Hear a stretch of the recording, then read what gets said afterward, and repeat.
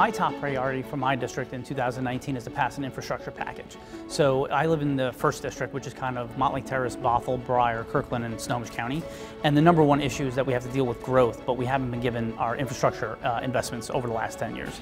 So for my district, what matters most and what I'm going to spend most of my time on is trying to pass uh, Senator Steve Hobbs' uh, infrastructure package bill. Uh, it's still being written, but whatever that comes out to be, that's going to be my top priority for my district.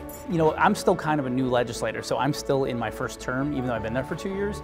And I did a lot of um, hard learning in the first two years. And I'd say probably the best thing I could tell the new folks is to spend more of your time talking to your colleagues across the aisle uh, and in your caucus than you do the hallway, as we call it. So the lobbyists in the hallway. So unfortunately, we get spun up a lot uh, and tend to kind of gear towards solving the issues that we hear from the lobbying community.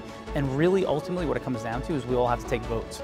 So you need to go and educate yourself on what your colleagues in, in the House or the Senate really care about and what they want to see in a bill before they vote for it. That's much more important than the lobbying community.